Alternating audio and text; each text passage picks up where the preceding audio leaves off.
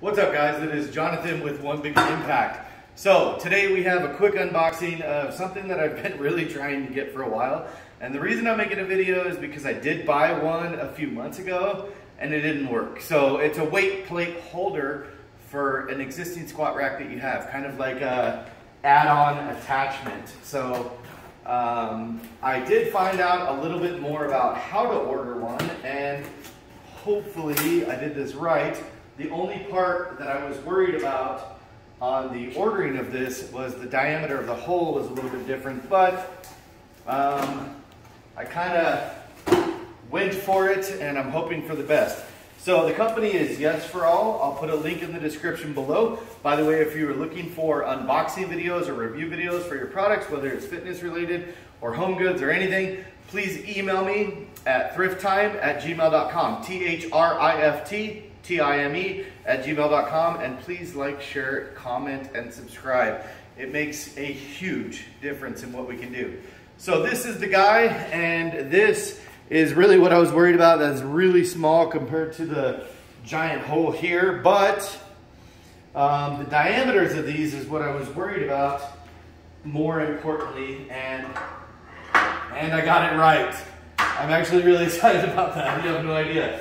So the diameter, I'm not super worried about it. Come on over here, and check this out.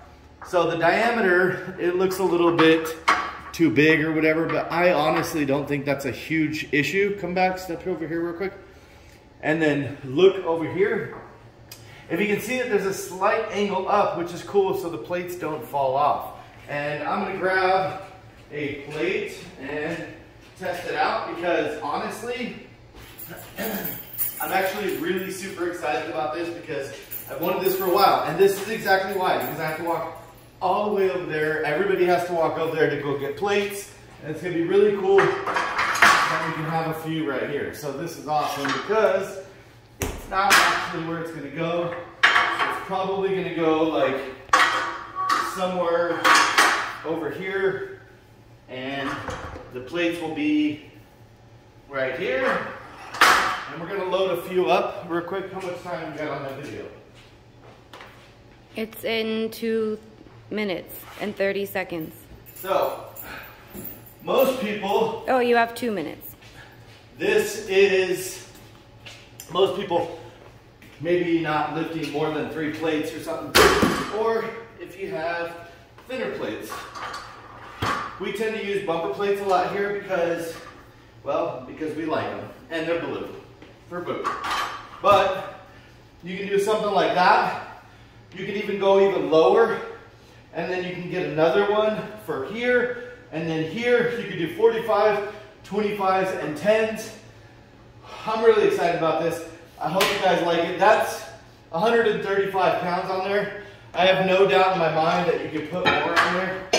But the one cool thing is, in addition to that, the company sends you these little things, which is nice because I'm all about safety first in all honesty. I call these little donuts. These slide on like that, stopping the weights from randomly falling off. The whole set for two of those and the donuts was 28 bucks and free shipping. It'll be in the link in the description below. I hope you guys liked the video. Oh, and most important, most important, I almost forgot. This is a two by three inch frame. You can stop the video. You can stop it. Here, it's already recording. Sorry we had some issues with recording, but you're going to get a tape measure or a measuring ribbon or anything like that. Come over here real quick and see this is going to be a depth of three inches, okay? And then a width of roughly two inches. The diameter of the hole is important, but not nearly as important as the frame size. They sell two different sizes. Make sure you're purchasing the right one.